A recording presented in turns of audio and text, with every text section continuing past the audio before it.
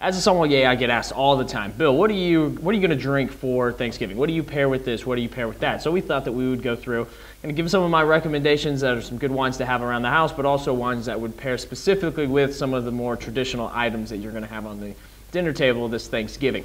Um, for you kind of your white wines and your, your lighter style um, dishes, something that would pair well with green beans here, I recommend a couple of different things. Kind of get out of your comfort zone and explore some different wines this Thanksgiving. I have two selections that are um, some excellent um, offerings that are light, crisp, clean, fresh, dry white wines. Uh, this right here is a Albarino. Now, Albarino is not a grape that's on a lot of people's radar, but I highly recommend that you go out and find, and find it. It has a lot of uh, citrus floral character to it. It's very aromatic, but it's also dry and crisp and light bodied, and so it's perfect with a lot of your uh, side dishes. And it'll even be good with turkey if you are in the mood for, for white wine.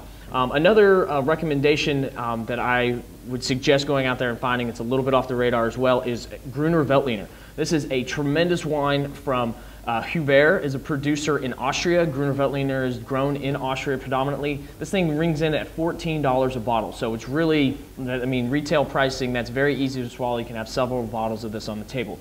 Again, this doesn't see any oak. It's aged in stainless steel.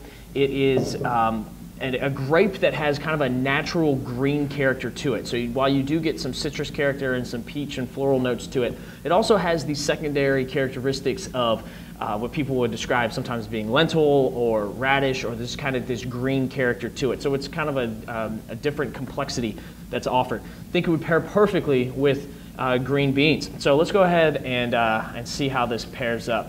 We've got the Huber 2009. This is the Hugo Gruner Veltliner. Okay, so yeah, the nose on this wine, it comes through the, that lemon, uh, lime character, some of the peachy citrus notes to it, but on the back you get this kind of uh, fresh cut celery and a little bit of like a lentil character to it, a little bit of radish, but it's just subtle, so it has that kind of vegetal characteristic to it.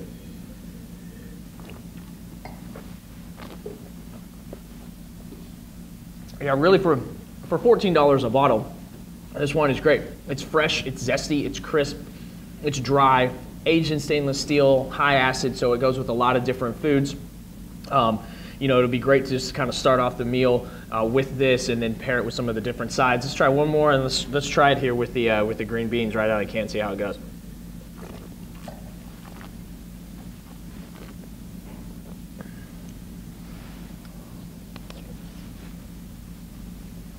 Oh, delicious.